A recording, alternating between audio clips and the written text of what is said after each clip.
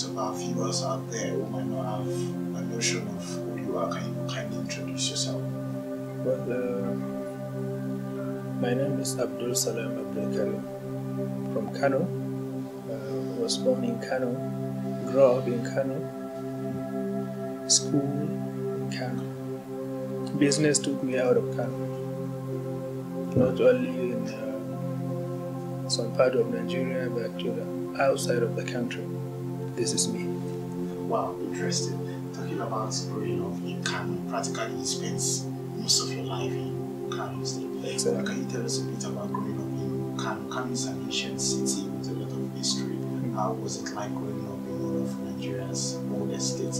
Well, growing up in Kano has a lot of challenges. Most of them, which are challenges like the environmental factors.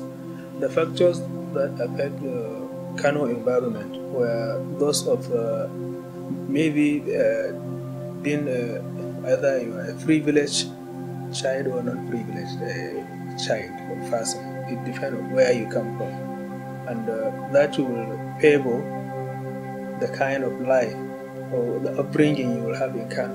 You may have a better or a very good family upbringing, but to be or the, the environment to make you be a productive person is what matters.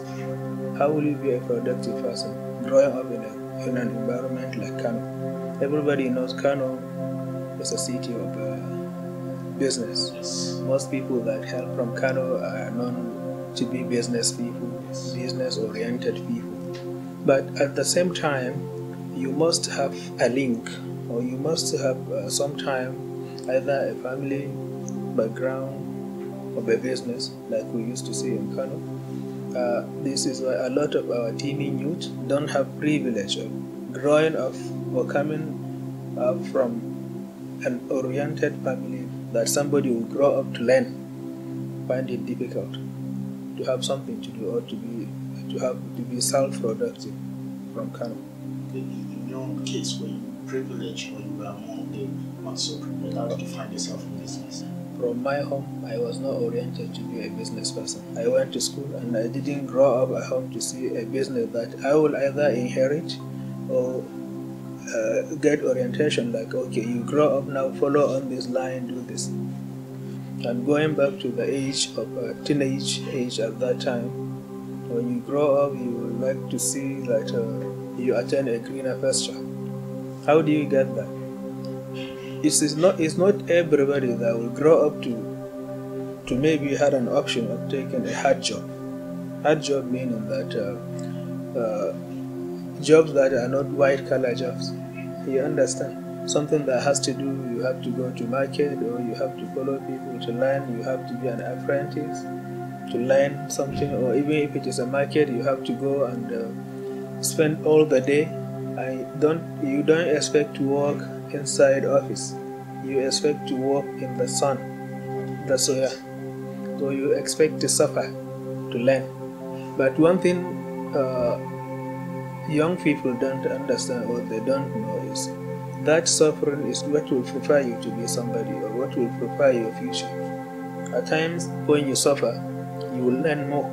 That is why sometimes uh, you see some business we have either in Kano or in uh, our society don't go beyond second generation of that business. Because the generation that created or originated the business that nurture it to be where it is the next generation cannot take it over. So anybody that grow up in Kano uh, in the same way I was brought up will have a mindset going out there to find out something for himself, to get what to do for himself, to prepare himself for the future or how to uh, earn a greener pasture.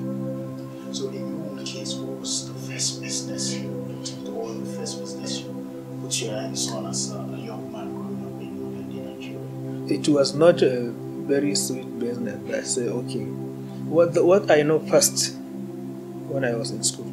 Is after school I would make, take jerry cans.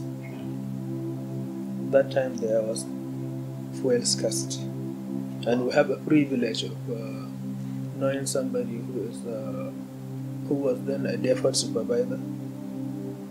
We get petrol at the pump right, then sell it outside.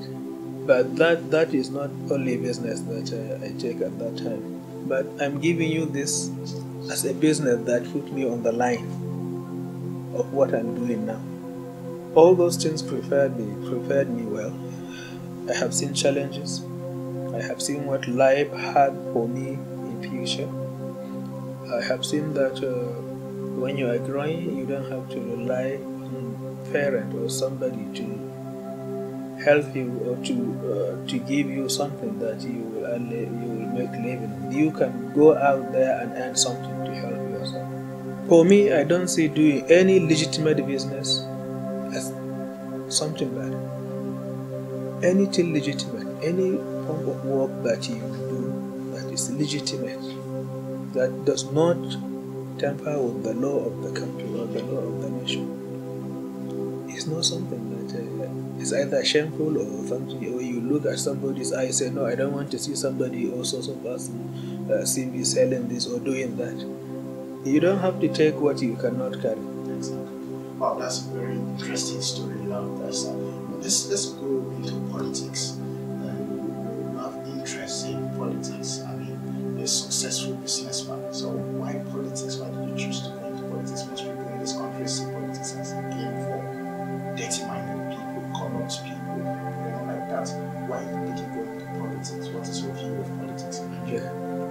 I like your question.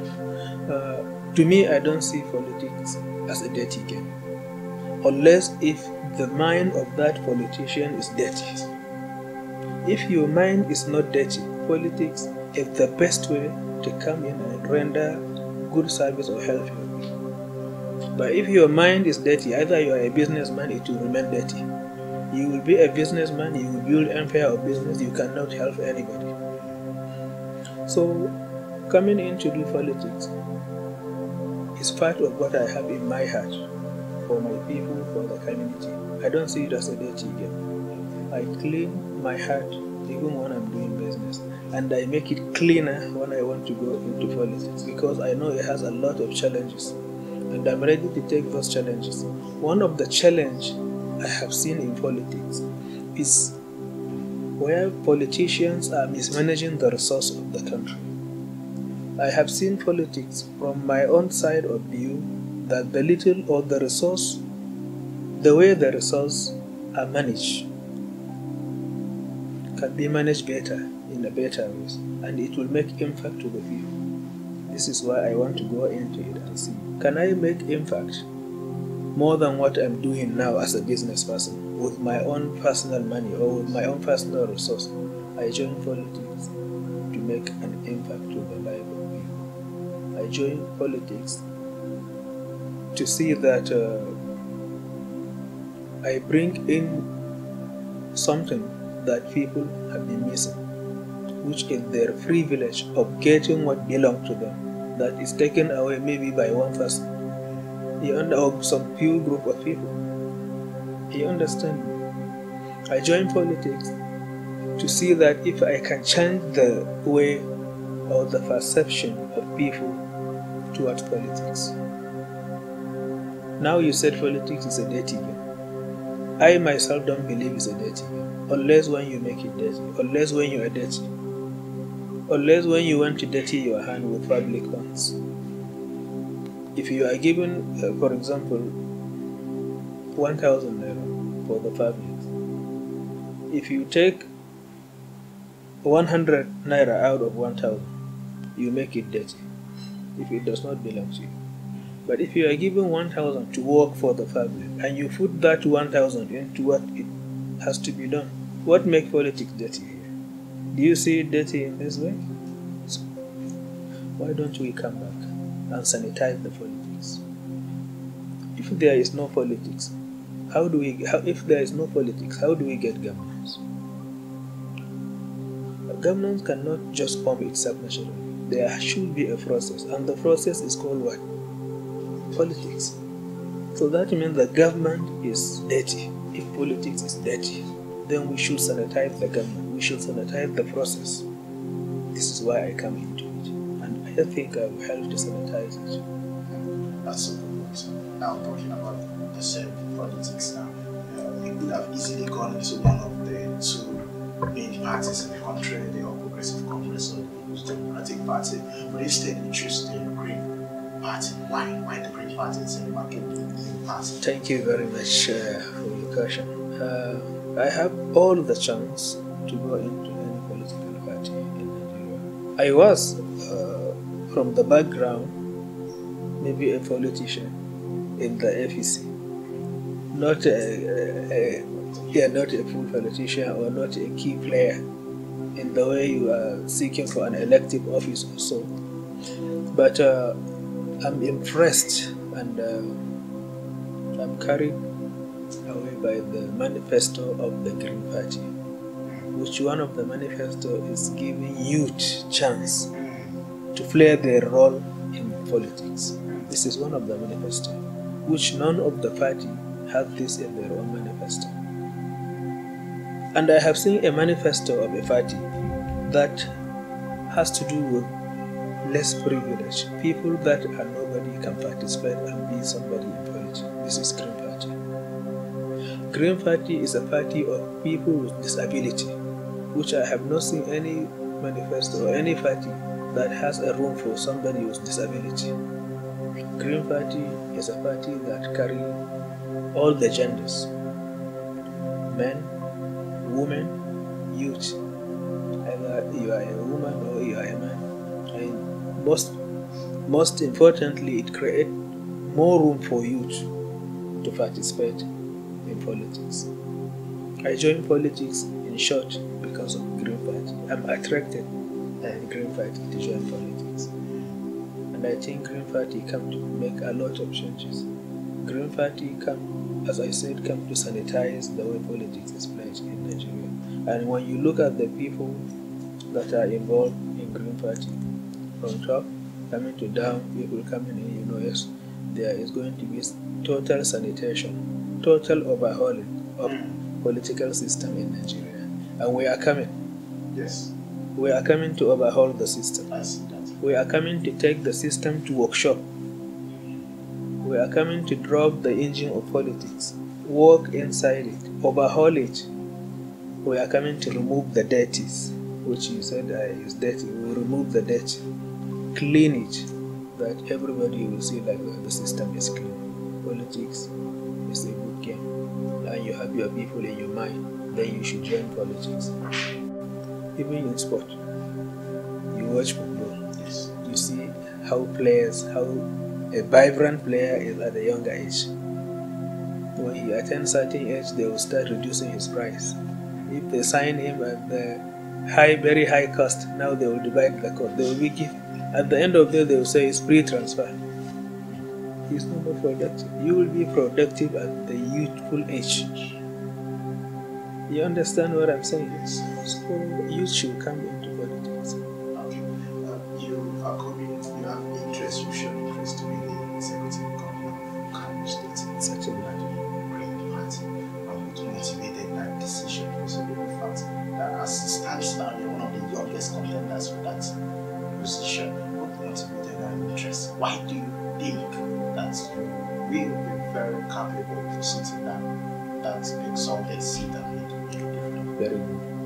like I told you before, I'm someone who was born and brought up in Kano.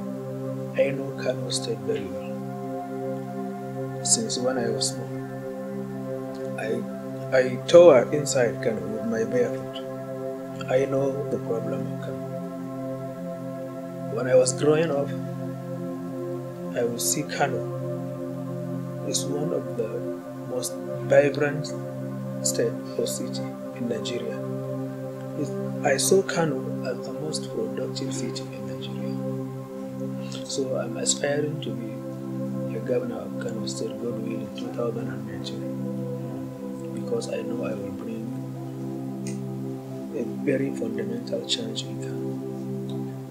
I will make Kano that it has never been all these years, which I know this is a digital world, not an analog world.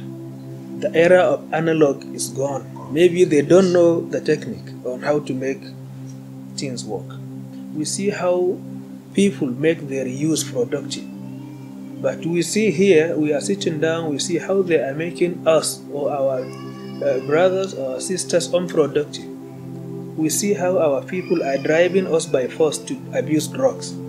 We see how they are driving by how our people are driven by force to commit several kind of crimes, which at their own age, those days, when they are giving you examples, they'll say, "We have not done that. We have not done this."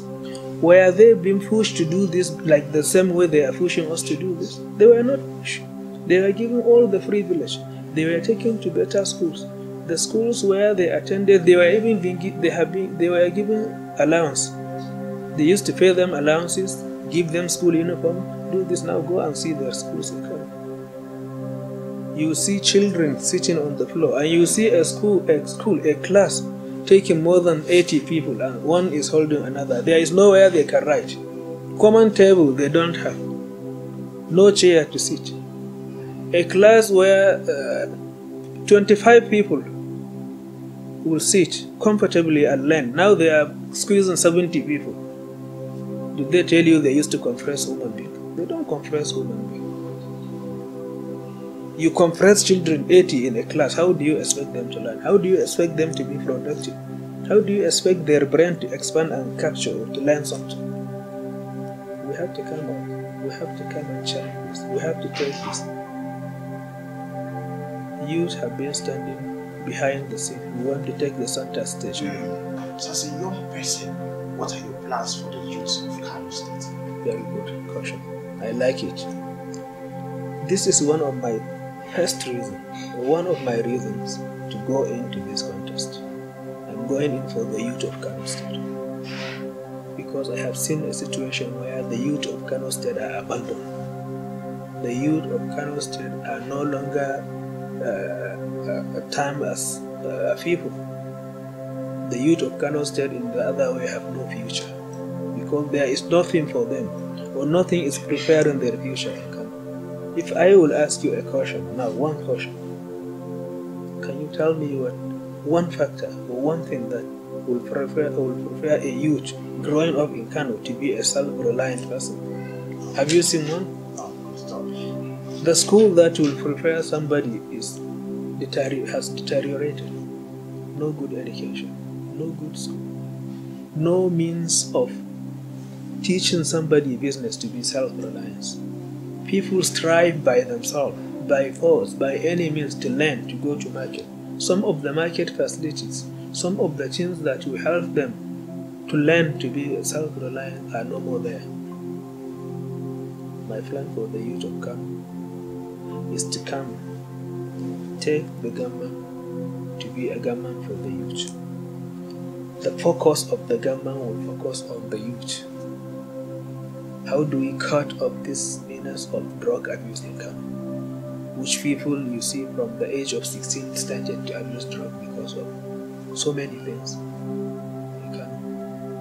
We have to stop drug abuse.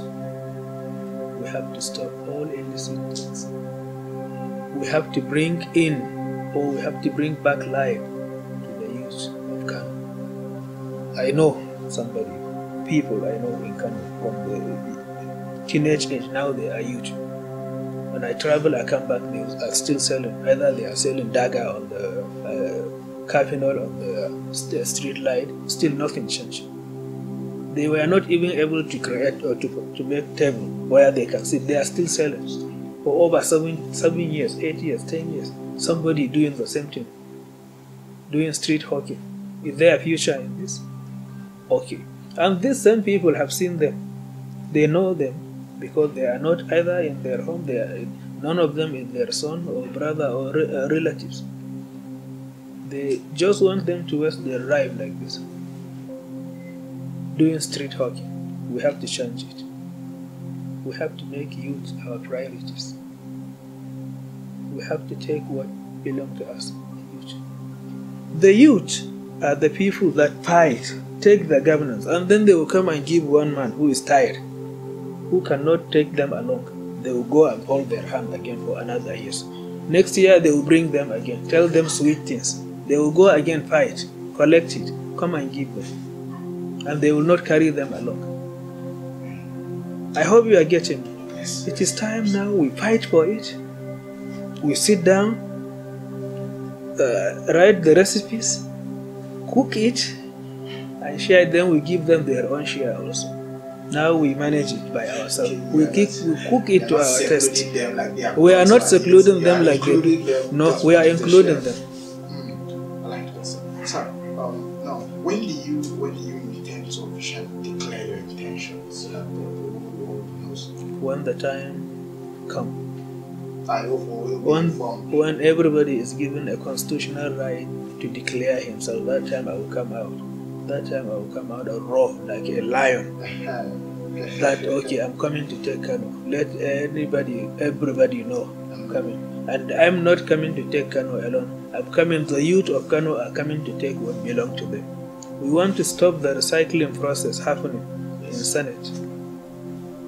Yes. You understand? me? Very correct. It's, it's a process of all people, the same people. We make a political system in Nigeria like uh, the uh, like plastic can. When you drink the water, you throw, they take it, go back to the factory, recycle it, and bring it back the same way. When you drink the water of the uh, of the can, throw the can. Let us see fresh view. Let us see the youth taking. When you look at the Senate, you see youth. When, when you look at the uh, governors, rep, you see. That was how we saw Nigeria when we, we, we read in the history Yes. before. We saw we read in the history when Nigerian president was 39 years old. We read in the history when uh, governor was 25 years, 29. Although at that time we know there is a limit limit, uh, limit of uh, I mean education also, but even at this time, that it is an era of uh, modern education, I mean uh, era of uh, intellectuals in uh, digital life like this. This is where it, where youth come first, because those second generations uh, people, it's not their time. Youth should come forward. Youth should not be going back thinking they cannot do it. They can do it. They did it before. Youth did it before. Youth, when they were leading Nigeria, was better. At that time, we have abundance economy was our economy was stable was good Yes. to the extent countries outside uh, countries outside uh, uh, the world coming to Nigeria seeking for uh, uh, loan uh, aid and a lot of things.